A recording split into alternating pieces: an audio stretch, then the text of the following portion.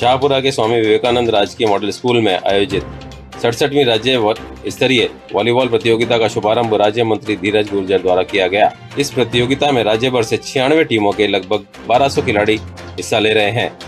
इस अवसर पर गुर्जर ने कहा, वॉलीबॉल में शाहपुरा ने राज्य में हमेशा अपना दबदबा रखा है। जो मेहनत करता है, वही इतिहास रचता है।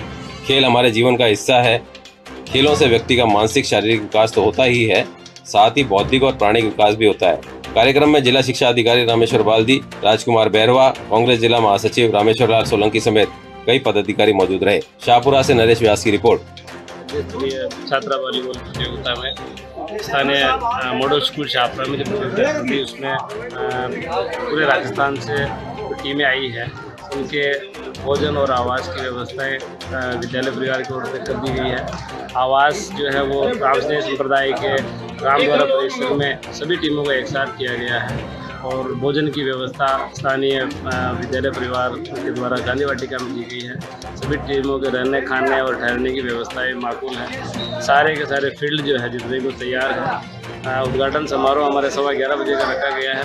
इसमें माननीय मुख्य जो धीरज जी गुर्जर राज्य मंत्री, राजस्थान सरकार पधार रहे हैं और राज्य स्तरीय माध्यमिक, उच्च माध्यमिक, सत्रह व उन्नीस वर्ष, छात्रा वॉलीबॉल प्रतियोगिता का ये भव्य आयोजन स्थानीय विद्यालय में आज दिनांक 19 सितंबर से किया जा रहा है। प्रतियोगिता 19 से 23 सितंबर तक विद्यालय परिवार द्वारा आयोजित की जा रही है, जिसमें अब तक हमें कुल 96 सिक्स छियानवे टीमों की एंट्री प्राप्त हो चुकी है, जो पूरे प्रदेश के 50 जिलों से आई है। इसके अलावा साठ टीमें हमें अकादमी सत्र पर्यंत और शिक्षा विभाग द्वारा संचालित खेल छात्रावास खेल छात्रावास विद्यालयों से प्राप्त हुई है। नाइन्टी सिक्स टीमों में लगभग 1200 से 1300 खिलाड़ी आज हमारे बीच में यहाँ पधार चुके हैं ऑफिशियल्स आ चुके हैं। इन सभी के ठहरने की व्यवस्था अंतर्राष्ट्रीय राम स्नेही संप्रदाय पीठ जगत गुरु रामदयाल जी महाराज की तरफ़ से रामशाला भवन में रखी गई है। टीमों के भोजन की व्यवस्था गांधी वाटिका में रखी गई है।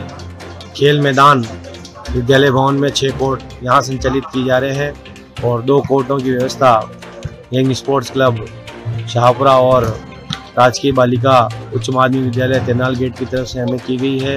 इसके लिए हम उनके आभारी हैं। प्रतियोगिता उन्नीस से तेईस सितंबर तक संचालित की जाएगी। सभी कस्बा वासियों से आग्रह है खेल प्रेमियों से आग्रह है कि आप पधारें विद्यालय में और आए हुए बच्चों का हौसला अफजाई करें।